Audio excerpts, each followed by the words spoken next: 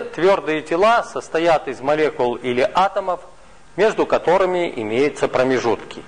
При изменении температуры твердого тела величина этих промежутков меняется. Расстояние между атомами или молекулами уменьшается или увеличивается. Обычно при охлаждении твердого тела уменьшается расстояние между атомами, из которых оно состоит, а при нагреве твердого тела эти расстояния увеличиваются, из-за чего меняются размеры и объем тела.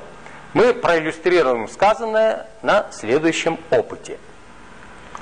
На нити висит стальной шар, и в штативе закреплено медное кольцо. Сейчас э, диаметр кольца больше, чем диаметр шара, и шар свободно проходит сквозь кольцо.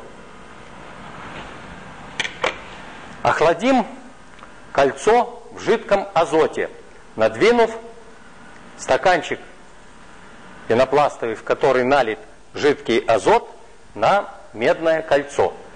Температура жидкого азота почти минус 200 градусов Цельсия. Идет э, бурное кипение жидкого азота и одновременно идет остывание медного кольца.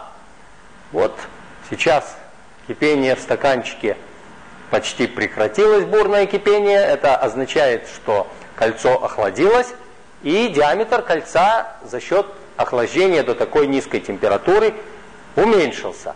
Если теперь попробовать положить шар на медное кольцо, то вы видите, он э, не проваливается в кольцо. Сейчас диаметр шара больше, чем диаметр кольца. Нагреем кольцо. Для этого надвинем на кольцо мерный стакан, в который налита водопроводная вода.